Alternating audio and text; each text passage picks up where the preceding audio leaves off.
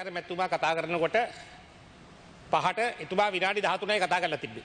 මම ඔබතුමාගේ ඉල්ලීමක් කෙරුවා ඔබතුමා පාර්ලිමේන්තුව දික් කරන්න යන නිසා පහෙන් පස්සේ අරන් යන නිසා මං කිව්වා ඔහුට නැති වෙච්ච විනාඩි පහ ඔහුට ලබා දෙන්න කියලා. ඔබතුමා පාර්ලිමේන්තුව දික් කෙරුවා නමුත් ඒ විනාඩි පහ එතුමාට ලබා දුන්නේ නැහැ. මොකද මම ඔබතුමාට කියන්න ඕන ඔබතුමා මේ ආණ්ඩු පක්ෂයේ කතානායක නෙවෙයි. මුළු පාර්ලිමේන්තුවේම කතානායක. එතකොට බං ඔබතු ඔබතුමා විනාඩි පහ ලබා දුන්නේ නැති නිසා තමයි පාර්ලිමේන්තුවේ මේ ප්‍රශ්නය හටගත්තේ.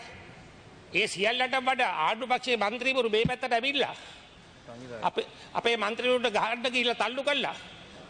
ඔබතුමාට මේක පාලනය කරන්න බැරිද? මොකද ඔබතුමා මන් දන්නවා ඔබතුමා විනාඩි 5 දෙන්න කැමැත්තෙන් හිටියේ. ආණ්ඩුවේ කට්ටිය ඇවිල්ලා කිව්වා දෙන්න එපා කියලා. දෙන්න එපා කිව්වා. ඒක සම්පූර්ණ වැරදි. ඔබතුමා ඔබතුමා ඔබතුමා ඒ ඔබතුමාගේ බලපෑමට යට වුණා. ඔබතුමාට උවමනාවක් තිබ්බ දෙන්න. ඔබ- ඔබතුමා මට මට අවස්ථාව දෙන්න පැහැදිලි නෑ කරන්න. එතකොට ස- මේ විදියට පාර්ලිමේන්තුව පවත්වාගෙන යනවනම් දැනටමත් මේ පාර්ලිමේන්තුව ගැන විශාල කලකිරීමක් තියෙන අපේ රටේ ජනතාව. ඉතින් ඔබතුමා මේක පාලනය කර අපි හිටියේ මේ පැත්තේ. අපි ඕ පැත්තට ආවේ නෑ. එහෙන් කණ්ඩායමත් ආවේ මෙහාට ඇවිල්ලා අපේ ඔව්. ඒ අපි විරුධ පක්ෂේ සංවිධායකතුමා කියන කතාව දැන් ඇහුවා. එතුමාගේ ඇස් පෙනෙනවා නං එතුමාගේ ඇස් පෙනුන නං එතුමාට මතකය හොඳ නං ගරු කතානායකතුමා වෙස දිව්වේ පළමොකට කවුද කියන ටික පලවෙනියෙන් සමු මතක තියාගණ්ඩ පලවෙනියෙන් සමු මතක තියාගණ්ඩ අපේ යුතුකම අපේ යුතුකම පාර්ලිමේන්තු කටයුතු කරගෙන යාමට ඔබතුමාට සහයෝගය දීමයි. අපේ යුතුකම ඔබතුමාට පාර්ලිමේන්තු කටයුතු කරගෙන යාමට සහයෝගය දීමයි. ඒ ක්‍රියාව ඒ ක්‍රියාව නවත්වා ගණ්ඩ බැරිමේ සංවිධායකතුමා. ඒ ක්‍රියාව නවත්වා ගණ්ඩ බැරිමේ සංවිධායකතුමා. මන්ත්‍රීවරු මන්ත්‍රීතුමුතුමාලා කතානායකතුමාට එල්ලවන යම් යම් භයානක තර්ජනයන් සඳහා තමයි ඔතන්ටාවේ. හෙලා දකින්නට ඕනේ ඔබේ මන්ත්‍රීතුමා ඔබේ පැත්තෙන් එතන්ට ගමන් කිරීම. පළවෙනියෙන් හෙලා දකින්න. ලැජ්ජනතෝ කතා කරන ස්පේන්නතෝ වගේ. අපි අපි එකඟ වෙච්චි කරුණු මත විවාදය ගෙනවා. අපි එකඟ වෙච්චි කරුණු මත විවාදය ගෙනවා. විවාදය අවසන් කිරීමට සභාවේ අවසරය අරගෙන විවාදය අවසන් කරන්නට ගියා. ඊයේ ඔබට විරුද්ධව පැමිණිල්ලක් කරා. ගජන් පොන්නම්බලන් මන්ත්‍රීතුමා ඔබට බාර දුන්නු ලිපිය ඔබ පාර්ලිමේන්තු කතානායකතුමාට බාර නොදීම ගැන එය පරීක්ෂණයකට ලක් කළ යුතුයි. ඇයි සංවිධායකතුමා විරුද්ධ පක්ෂේ විරුද්ධ පක්ෂය ඉල්ලීමකට සංග කටයුතු නොකරන්න කියලා. ඔව් ලක්මන් කෙරේල මැතිතුමා. මෙතුමාගේ කතාව කොහෙද යන්නේ මල්ලේ පොල් වගේ. අපි අපි අපි ගජන් පොඩ අපි ගජන් පොඩ්ඩම්මල ගැන කතා කරුවේ නෑ. අපි ගජන් පොඩ්ඩම්මල ගැන කතා කරුවේ නෑ. අනිත් එක අනිත් එක අනිත් එක අපේ മന്ത്രിවරු අපේ മന്ത്രിවරු අපේ ධම්මික දසනායක මැතිතුමාගේ මේසගාවට ගියේ විනාඩි 5 ඉල්ලන්න. විනාඩි 5 ඉල්ලන්න. ඒ මෙහාට ආවේ. ඒ තමයි මෙහාට ආවේ. තල්ලු කළා. තල්ලු කළා. මේ කොහෙද යන්නේ මල්ලේ පොල්? කරුණාකරලා ඔබතුමාලා ඔය ඔය ප්‍රශ්න නම් කතා කරන්නේ අපි ඒකට උත්තර දෙන්න. ඔව්. ඔව් මද්දුම් බණ්ඩාර මැතිතුමා. ඔව් මහිතන මනූෂ නානායකාර මැත්තුමා එතුමට වෙච්ච අසාධාරණය කියන්න ඔබතුමා ළඟට ගිය. ඔබතුමා ළඟට ගියපු වෙලාවේ තමයි එහා පැත්තේ ඉඳලා හරි. එහා පැත්තේ ඉඳලා මේ මිරිස් කුඩු කල්ලිය නැවත ක්‍රියාත්මක වෙන්න පටන් ගත්තා. මෙහාට ඇවිල්ලා ගහන්න පටන් ගත්තා. එකම ප්‍රශ්නේ නෙමෙයි අහන්නේ. සංවිධායකතුමා තමයි එකම ප්‍රශ්නේ නෙමෙයි කතා කරන්නේ. මේක එච්චර හොඳ වෙලාවක් නෙවෙයි. ප්‍රශ්නේ කතා මම කරන්නේ. කරුණාකරලා ඔබතුමාලා සියලු දෙනාම ඉන්නේ ඒක- ඒකට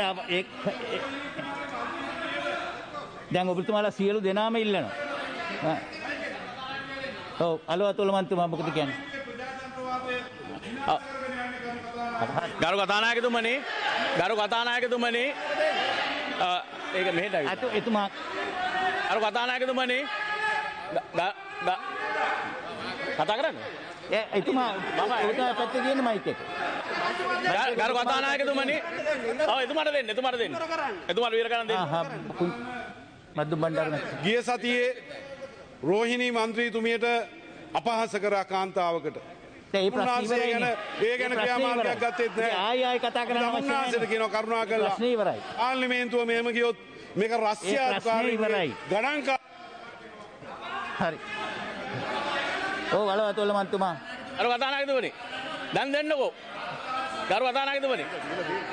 අතන තියෙන. ගරු කතානායකතුමනේ ඔබතුමාට මම හිතන්න ඉතාමත් මේ පාර්ලිමේන්තුව සම්බන්ධය වගකීමත් තියෙනවා.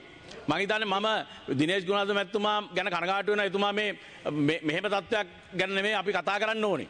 අපි පාර්ලිමේන්තුවේ දෙසේ විසිවා විපා කියලා සමාජයේ ප්‍රශ්න ගණනාවක් තියෙන වෙලාවක ඊයේ දිනේ ඉතාමත් අසෝපන සිද්ධියක් සිදු වුණේ. ඉතින් ඒක සම්බන්ධව ඔබතුමා ඒක දැන්- ඔබ- ඔබතුමා අපක්ෂපාතීව අපක්ෂපාතීව. කටයුතු කරන්න මොකද මනුෂ නානාකර මන්තුමාගේ ඔබතුමාගේ ඉල්ලීමක් කරන්න මේ චර්ජරය කරන්න. හරි. ඉතින් අපි අපි කඩකාටු වෙනවා අපි කඩකාටු වෙනවා ආණ්ඩු පක්ෂයේ සංවිධායකතුමා ආණ්ඩු පක්ෂයේ සංවිධායක ජෝස්ටන් මහත්තයා හැසිරුණු ආකාරය ගැන අපිට ඉතිහාසයේ තියෙනවා මේ මේ පාර්ලිමේන්තුවේ මිරිස් කුඩු ගහලා. ඉතින් ඒ තත්ත්වය ඇති කරන්න දෙන්න එපා. ඉතිහාසයනේ දැන් ඒක වැඩක් නෑ. දැන් මේ කතා කරන්න ඔව් I rise to a point of order. ඔව්. මං කැමති යළි සීපත් කරන්න කතානායක නියෝගය කතානායක නියෝගය පිළිපදින් නැත්තං කටයුතු කරන ක්‍රමයත්තන ඒකට ඇතිවන්න ප්‍රතිඵලයත් බුක්තිමිඳින් ඕනේ.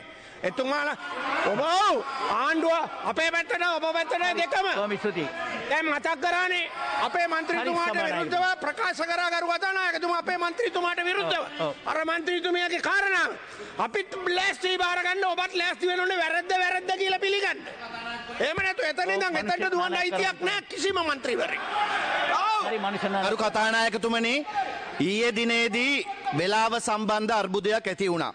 වෙලාව සම්බන්ධ අර්බුදය ඇති වෙලා මට මේක ඉවර කරන්න දෙන්න ගරු කතානායකතුමනි වෙලාව සම්බන්ධ අර්බුදය ඇති වුණාම ඔබතුමා පහෙන් පස්සේ වෙනත් දිනවලදී අධ්‍යාපනය දවසේදී ඒ දිනවලදී ලබා දුන්නු ආකාරයටම ලබා දෙන ලෙස අපේ ලක්ෂ්මන් කිරියල්ල මැතිතුමා ඉල්ලීමක් කරා. ඔබතුමා ඒකට ගරු කරලා ඔබතුමා ඒ ඉල්ලීම ලබා දුන්නා. අපි ඒකට ගරු කරනවා පළවෙනියෙන්ම. ඔබතුමා ඒ ඉල්ලීම ලබා දුන්නාට පස්සේ ආණ්ඩු පක්ෂයේ ප්‍රධාන සංවිධායකතුමා කිව්වා අපි ඒකට විරුද්ධයි කියලා. ඒ වෙලාවේදී ඔබතුමා මගේ කතාව නතර කළා.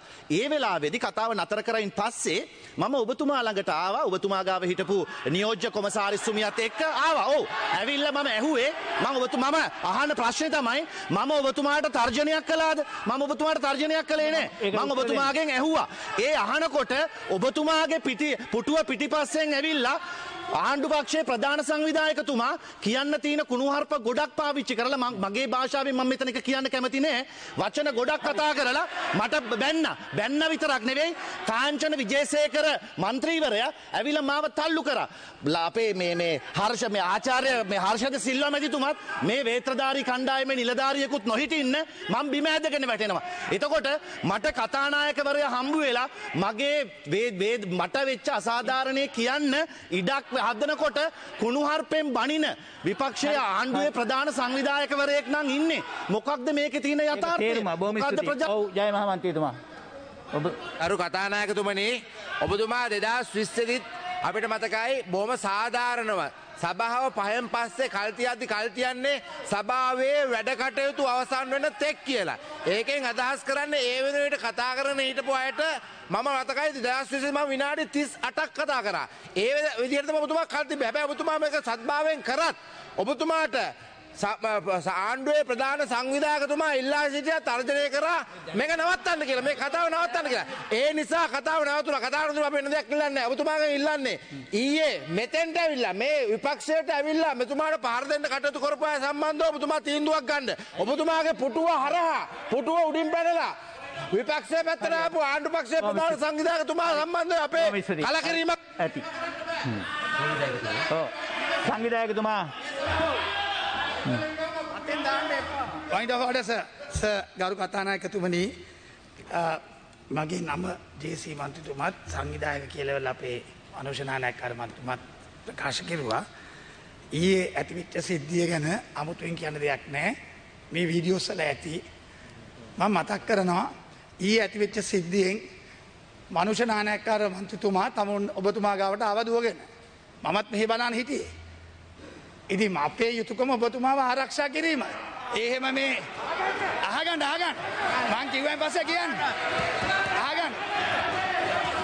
නිස්සද්ද වෙන්න ගරු කොමන්තුමාලා. කතානායකතුමනි ආගෙන ඉන්න කොන්ද පන තියාගන්න. ආගෙන ඉන්න. ඕගොල්ලෝ කියනවා අහගෙන හිටියනේ අපිත්.